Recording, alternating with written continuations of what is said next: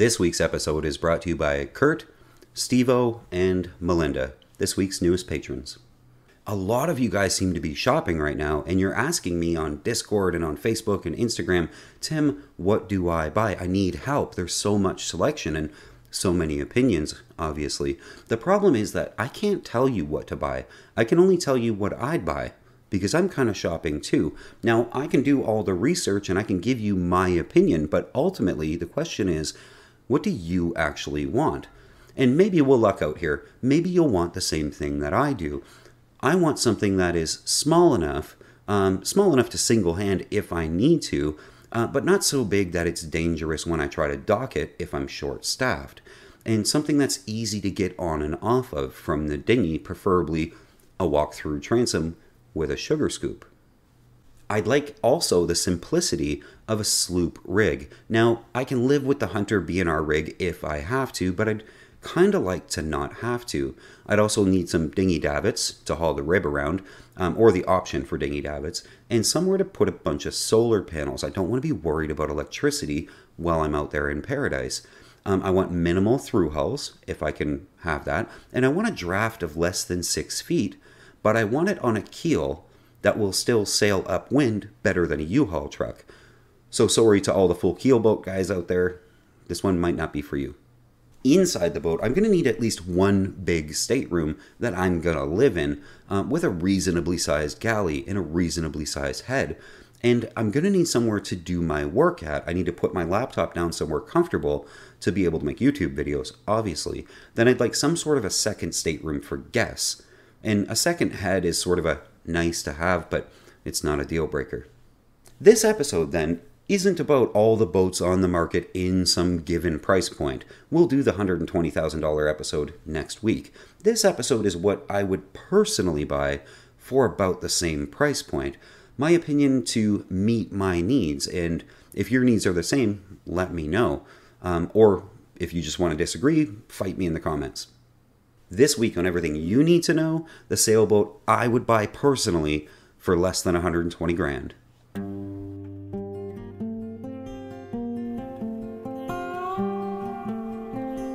A little disclaimer a few people always ask why I didn't cover this boat or that boat in these episodes at different price points, and everyone has a favorite that I didn't mention, and it's usually the boat that they own right now. And the truth of the matter is, I cover what's actually for sale when I do these price point episodes. I often get, whoa, whoa, whoa, at that price point, why didn't you talk about the Hinckley so and so or the Hallberg-Rassy, whatever? If there aren't any for sale at the given price, I just can't cover them. So I start my search today, and immediately something interesting comes up, something I have to talk about. It's no secret that I currently live just off the Great Lakes, off Lake St. Clair, on the Canadian side, very near to Windsor, Detroit. And I've been hearing rumors all summer, for the last six months at least, about some crazy big sailboat that's just sitting in a crop field somewhere around here um, in the vast farmland that is this place. Now, I never imagined it would be much more than maybe an old ketch that came up from Lake Erie, because anything bigger than about 45 feet really has no business being around here. Um, and it turned up for sale, honestly, just around the corner from my house. This, my friends, is the somewhat controversial MacGregor 65. Honestly, this thing just popped up as soon as I started searching. Some say it's the boat that ruined MacGregor. And yes, when we say MacGregor, I do mean the trailer, sailor, slash powerboats that you either love or hate. Mostly, I suspect, hate. And for whatever reason, MacGregor set out to build, from their trailer sailor days, a very large, heavy displacement yacht aimed at the luxury market. And this is what they came up with. And honestly, it's it's kind of beautiful. This is the Pilot House version, and honestly, I'd love to hear the story on exactly why this showed up in a crop field in Merlin, Ontario. Now, I bring up this boat just because it's interesting and happens to be where I live, though I've never actually personally seen it. I just know it's around here somewhere. Uh, would I buy it to go cruising? Well, uh, it would be really cool. It's a cool boat and it's extremely fast. It's known as one of the fastest cruising boats ever made. Um, it would also be a great project because the inside's sort of barren, and I could set it up the way I want to to check all of my other boxes. But alas, not for the $110,000 US asking price. Honestly, I'd be interested in it for maybe 25,000. I know that's maybe mean, uh, but not much more. With the option, I'd want to work on it in said crop field. Um, because once you lift this thing up and put it in, that's it. You have to sail it south. There's nowhere around here to keep this boat and nowhere to haul it out once it's in. Anyway, that's an interesting boat. Moving on to boats I'd actually entertain right away. We have this handsome Hunter H38. And I know we love to hate on Hunter, but follow me for a second on this one. She's already in Florida, so, you know, it's not a crop field in Merlin. Um, and she's ready to buy. She already has solar panels. I mean, they're cute. Um, and dinghy davits, so it's less stuff to deal with when you buy it. I like the black hull and the Dodger and the Bimini arrangement, and it's a shallow keel um, that Hunter is fairly fast with. This hull is actually a really quick hull, and I suspect that that's the keel from the Legend series of boats in the 375, so I happen to know it will point very well. Um, though I'm not a huge fan of the rudder being unprotected. Now, I get my sugar scoop, I get my walk-through out back, um, and that makes the boat easier to live with. And I get a full suite of instruments, even though that's not what really sells me a boat anyway. I get a very rock solid Yanmar, which I like, especially compared to the Volvo that I have now. There's nothing wrong with the Volvo, just Yanmar is much more common, therefore more support and more easy access to parts. The Hunter 38, it's the living space that blows me away on this boat. Look at this thing. I get an absolutely huge saloon with room to really live and be comfortable on the day to day while I cruise on this boat. And that matters to me so much more than not having a backstay, because of course this is a B&R rigged boat. I get a great looking nav desk to do work at, so I can afford to keep cruising in paradise, and I get a full suite of radios and electronics inside at the nav station within reach. And this is the model with two staterooms, and the aft cabin is monstrous. Monstrous compared to any other boat, even five feet bigger. And it has its own private access to the head. The galley is also huge. And look at the counter space in this boat. The companionway stairs are large and easy to use, and there are tons and tons of port lights and hatches to make it more comfortable inside. Then we have a reasonable V berth for the guests to sleep in. I honestly set out on this episode without knowing what I'd find, and I made a list of the stuff that I needed in a boat um, before I actually looked at any boats. And this boat literally checks everything from the aft cabin to the desk, the V berth, the layout. It's got davits, it's got solar.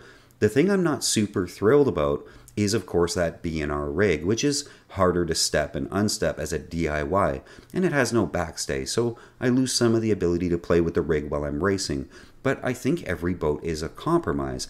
And they're asking 119,000 US, which I think is fair for what this is.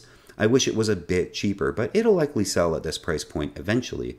But don't think this is the only option. There are six or seven Hunter 38s on sale right now. Next up, we have another promising candidate, and there are about 10 of these for sale, so I mean, take your pick. This one is the two cabin layout, which is what I want, and it's in really good shape. Sitting in Rhode Island, it's an Oceanis Clipper 393. This one, of course, is the one I picked to look at because it already has davits for the dinghy, and it has some more cute looking solar panels on top, so it's less to do once you buy it. It also has a Rockna already on the bow, though I suspect I'd bring my own if I bought this boat because that looks like the Rockna 33 or 35. Mine's the 55, and I mean, you can't be too careful. We get a large cockpit with some comfy looking chairs, get a good spray hood and a bimini for protection, and comfort, and it looks like all the lines are led aft, which for me is a point of contention that I want to bring up. People use the all lines led aft as sort of a sales pitch, and I find that kind of silly. I mean, you can lead all the lines aft on any boat, and it's fairly easy to do. And sometimes some lines shouldn't be led aft. For example, I, a boat I recently helped someone buy had the jib halyard led aft. Why? It's a furling. Why would you ever need access to the jib halyard? This boat gets the high aspect fin, but only drawing 5 feet, so it's a reasonable depth, but still being able to point fairly high. And being a Beneteau, you also get the near plumb bow, and almost a full length waterline, so it won't be slow under power when it's standing straight up. Again, though, unprotected rudder blade, which kind of irks me. We do get some interesting sails with this clipper as well. Some are red, some are black. I'm not sure why they did this or how I feel about it. Does it matter? I suspect not. It's probably going to be even prettier, and people will know which boat is yours. We also get the sugar scoop and the walkthrough that we need. This boat also sports tons of hatches and port lights to let the air and light inside, which is huge. If you've ever lived on an 80s racer cruiser in what we like to call the cave, it's not fun, seriously. I'd be happy to never see teak inside a boat again for the rest of my life. Inside the Benny, it isn't as big as the Hunter, but the craftsmanship looks really good, and there's lots of space to starboard to get work done and lots of storage on that side of the boat. This model gives us an aft head and a really big aft cabin, which is likely where I would call home, opposite a good sized galley. It's big enough to keep me happy. Up front on this bottle, we get the Pullman style forward berth, which some people like and some people don't. The advantage to the Pullman, though, is you get a huge head with a huge shower up in the V berth, which seems nice. But in that Pullman berth, if two people are in it, kind of makes it hard for one of those people to get in and out of. This boat gives us a good looking electrical system and the Yanmar that we like. And everything looks very clean and well taken care of. I don't think a lot of things are going to show up on this survey. It's important to note that these 393s can be had for about 10 or 20 grand less than that Hunter 38 that we looked at previously. And I think it boils down to the Hunter is just bigger inside. Is it 10 or 20 grand bigger? I'd like to go find out. Honestly, with this layout and this amount of space, I think this would be my top pick boat for my single dude adventure kind of thing, or single chick adventure. Um, I'd stay in the aft cabin, and whomever was there to help crew could have the Pullman up front with the big head um, two sort of private areas of the boat, and lots of space in the middle to entertain guests.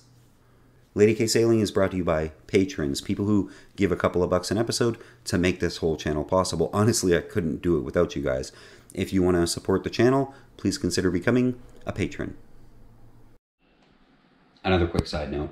Um, the reason my videos are all off schedule this month, uh, I'm really sorry about that, but I had a computer part break um, and for the computer people uh, who might know what this is, it's a triple 120 ROG liquid cooler for my 5950X.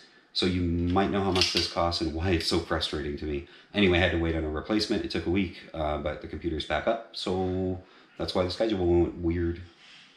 Next up is an older and much larger boat, but I would genuinely entertain this as an option to be my Delos. And what I mean by that is sort of like my party boat. Um, this one, if I bought it, I'd turn this YouTube channel into a traveling group of people sort of thing, very Delos like. Uh, maybe two couples and a rotating number of guests while we cruise the world. This then is a boat I've had my eye on for years. I really like this thing. This is a 2001 Beneteau 50, and this one is interesting because it used to be a four cabin charter layout, and it was converted for private use, uh, making the forward two cabins into one. This is the model that even has crew quarters through a hatch in the deck. It doesn't look very comfortable. I'd likely convert this space into storage for the water toys, the paddle boards, things like that. This boat gives us everything on the checklist, but it also gives us a lot more. Everything about this boat is ridiculous from 132 gallons or 500 liters of diesel insane to the staggering 264 gallons or a thousand liters of fresh water.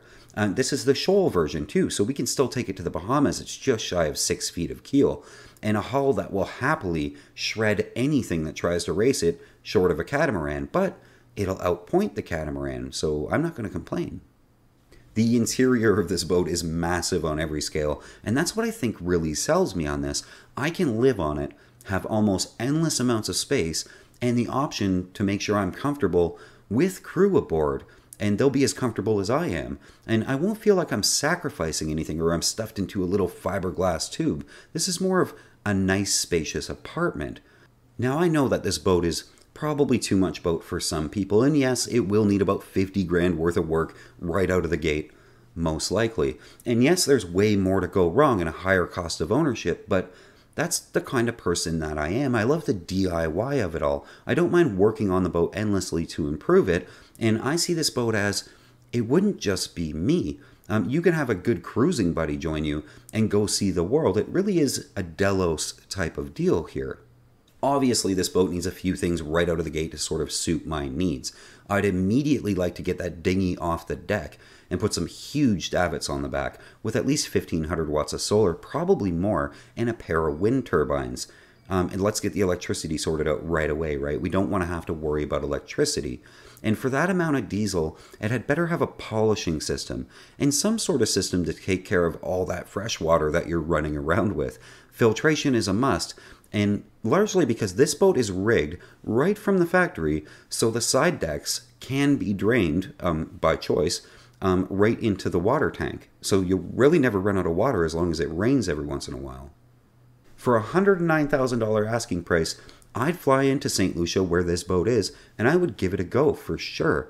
Probably head from there up to the Bahamas based on the season right now, resupply in Florida, and then take it to wherever my little heart desires, picking up crew along the way.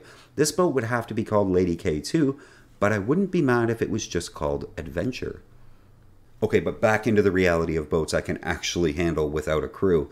Um, this is one of my top picks for a single couple to head south, maybe retired couple, with room for guests when the need arises uh, and this list wouldn't be complete without a Catalina. This then is the 380. This is the 1997 Boat of the Year winner, and at only 38 feet, you might at first wonder why all 10 of them I found go on sale for 100 grand, up to 120 grand. It's only a 38 footer. But it's because they are just fantastic boats, and they're much bigger inside than the waterline might make you guess. And we, of course, get the things we're looking for here. We get a walk through transom on sort of a sugar scoop. We get a big, roomy cockpit to lounge around in on the sunny days, but also lots of port lights and hatches to make the inside more livable. I love the layout too. What really sells me on this boat has to be the aft cabin. Now you get access to the cabin on both sides of the boat, which is sort of unique. One way is through the head, and the other way is directly through the galley, which I think is really cool. The main saloon is huge and looks very livable on the day to day, and the V berth gets its own little sink and small countertop. The galley is a good size, and when you walk into the aft cabin, you really see why single couples love this boat so much. It's basically a master stateroom with ensuite head, and this is just by every measure an exceptionally good layout. This boat is everything I could ask for in a Caribbean cruiser without being too much. It's not oversized or unwieldy in a marina. It's also not overpriced, and it's new enough that you can still get insurance on it, as well as parts uh, when things inevit- inevitably break down. It's also a shoal keel, and many of them are already outfitted with davits and solar arrangements, life rafts, and EPIRBs, because many of them have already been out there cruising. Now, it may be nothing special, it's just sort of a boat, but it'll do the job and it'll do it very well. There are, of course, some things about this boat that I'm not a huge fan of. If I had to have a boat I'm going to fall in love with and I want to take pictures of it, this isn't it. I don't find it to be particularly pretty. It's just a plastic boat that offers me everything I asked for, no more, no less. I can't be mad at it. Now, it is a Catalina, so I'm sure it sails very nicely, but it's missing that X factor, something that makes it special. The Hunter we looked at, for example, was ridiculously roomy. The Clipper we looked at would likely outsail this Catalina. The Benny 50 is just an adventure seeking monster. So, what is this thing then? It's just a boat that's well made, very capable, and very comfortable. Maybe if you put a furling code sail on the front, I'd find it more interesting. That's it for this week, guys. If you like this episode, please give it a thumbs up to feed the algorithm. If you want to see more, please hit that subscribe button. Until next week, keep the heavy side down, but not too far down. You gotta heel it. You gotta heel. See you guys.